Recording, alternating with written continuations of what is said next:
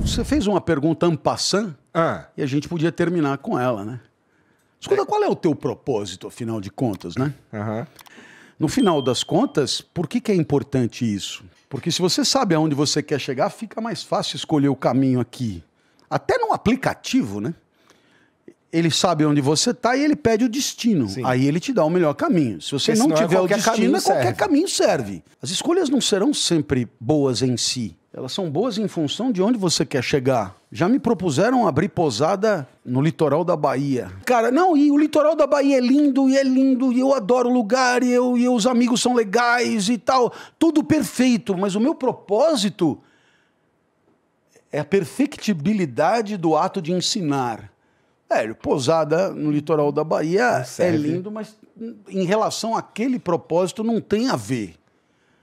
Então, você vai fazendo escolhas em função de um propósito, e o propósito, por sua vez, ele surge daquilo que é precioso para você, que a gente pode chamar de valores pessoais, né? Dê um jeito na hora de viver de perceber o que é genuinamente precioso para você. A partir daí, identificar um propósito fica mais fácil, condição de boas escolhas.